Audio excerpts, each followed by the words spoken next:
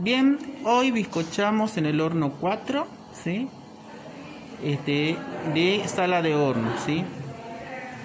A lo cual, ¿sí? Fíjense, estamos en 20 grados, acaba de arrancar el horno, ¿sí? Voy a hacer una curva de temple, ¿sí? Tenemos la tobera destapada y tenemos un ladrillo en la puerta para que salgan los gases.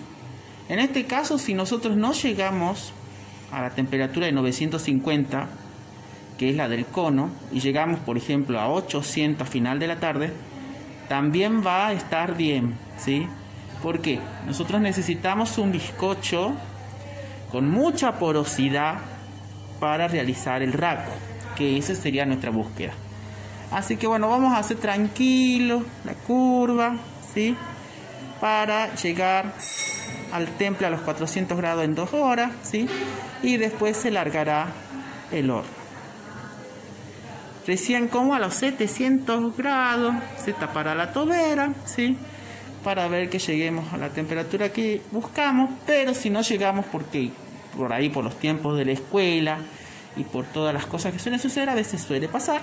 En este caso no va a venir bien un bizcocho que sea más de menos temperatura de 900 grados. ¿Por qué? Porque estamos tratando de mantener la porosidad, ¿sí? Bien. Bien. Vamos a realizar una curva, ¿sí? De temple para arrancar. Fíjense, yo arranqué a las 11 horas, yo ya noté que largué a las 11 y 5 ya lo apagué porque ya estaba en 44 grados ahora está en 58 ¿sí? a las y cuarto teníamos que estar en 50 así que lo vamos a mantener hasta las y cuarto y recién lo voy a prender para que a las 11 y media llegue a los 100 grados sube bastante rápido ¿eh? a pesar de que es un poquito más grande que el anterior sube bastante rápido ¿sí? así que hay que cuidar que suba como nosotros queremos según nuestros cálculos fíjense yo acá ya calculé que a las 12 lleguemos a 200 grados. ¿sí? Entonces voy repartiendo la temperatura.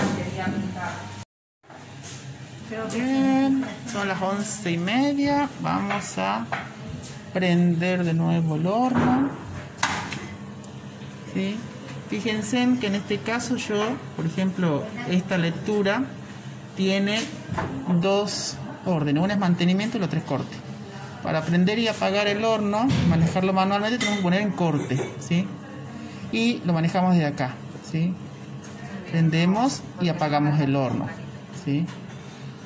Esto es diferente. Igual tenemos programado a 950 por si es que alguien se olvida, está programado, ¿sí? Es diferente un poquito al de arriba, ¿sí?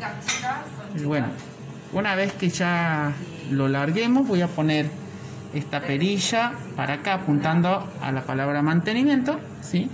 Para que si alguien se olvida de apagarlo va a llegar a la temperatura indicada y lo va a mantener ahí, ¿sí?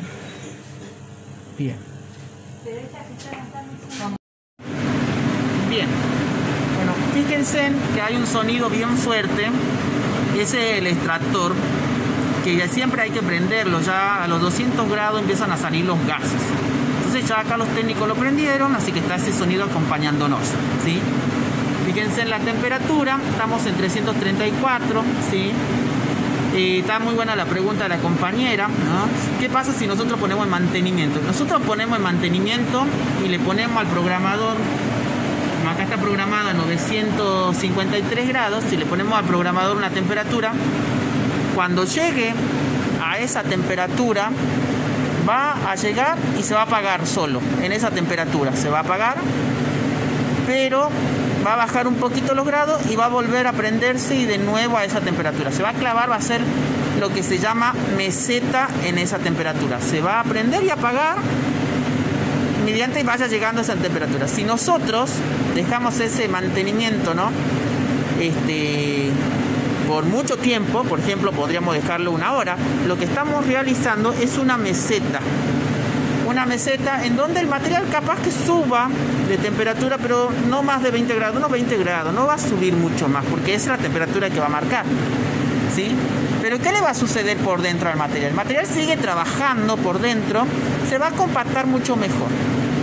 Todo caso, por ejemplo, en el caso de los esmaltes, puede que sigan perdiendo gases los óxidos y puede que los colores varíen un poco, puede que este, se neutralicen en algunos lugares, ¿sí? pero en general el material trabaja más, se compacta mejor. ¿sí? No es lo, lo conveniente, tampoco lo aconsejable, a veces, en el caso de los esmaltes, se van, siguen trabajando y por ahí se va yendo lo que nosotros nos aportaba el color más que nada. Pero en general se compacta mejor el material y no pasaría nada. Yo creo que este, sí gastamos mucha energía eléctrica en hacer una meseta sin una razón posible, ¿no? Pero bueno, puede pasar que a veces nosotros dejamos clavado en este, el programador y nos olvidamos. Bueno, lo máximo va a salir un poquito más vitrificado, pero apenas no va a llegar a un granado, va a 20 grados. Por ahí a veces si es muy compacto el horno 50 grados capaz que suba solo, aunque nos marque otra temperatura del programador. ¿Sí? Pero el objeto capaz que suba unos 50 grados más pero no más de eso, no va a pasar más que eso. ¿sí? Entonces no va a haber como un daño mayor, ¿sí? se va a compactar más el material. Algunas cosas, algunos materiales, si están mucho, mucho tiempo, por ejemplo, hablamos ya de horas, sí podrías como seguir trabajando, la pasta se va ablandando. Y eso, bueno, podría ser en cuestión de que empiecen a quizás querer doblar un poco las placas o la misma pasta que modelaron, pero bueno, eso tendría que ser ya en otra temperatura. 900 grados no va a pasar mucho, pero si hacemos un mantenimiento, por ejemplo, a los 1200 grados, y ahí sí va a seguir trabajando mucho más el material y sí se nos va a deformar mucho más y sí va a haber este, una reacción más fuerte. ¿sí? Pero bueno, esto como para tenerlo en cuenta. Igual todo esto tendría que probarse como para tener bien fehaciente lo que sucede, ¿no? Y eso en relación a cada horno, porque cada horno también funciona diferente, ¿sí? Bien.